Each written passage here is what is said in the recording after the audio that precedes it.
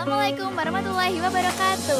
Hello everyone, my name is Arosinbi Kalkakian Prasadi. You can call me Kion and I'm from Al Azhar 21 Solo Baru Islamic Junior High School. I've been here for one week and if you're asking about my experience here, I'll be honest.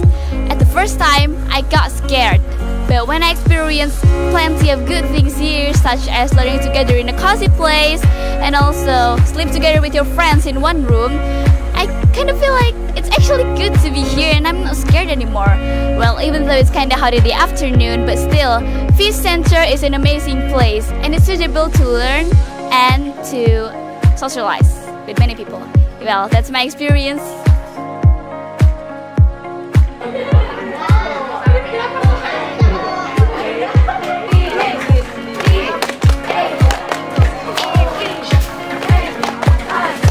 satu dua